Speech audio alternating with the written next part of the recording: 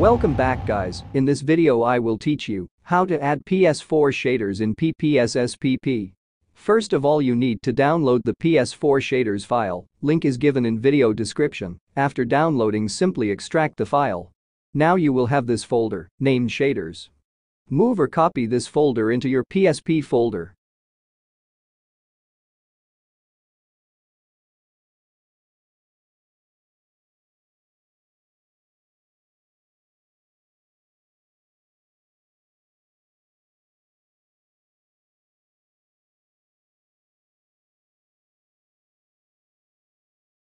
Now open your PPSSPP emulator.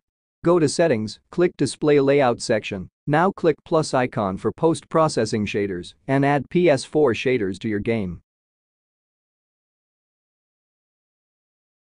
You can also add color correction or natural colors to make it look much better.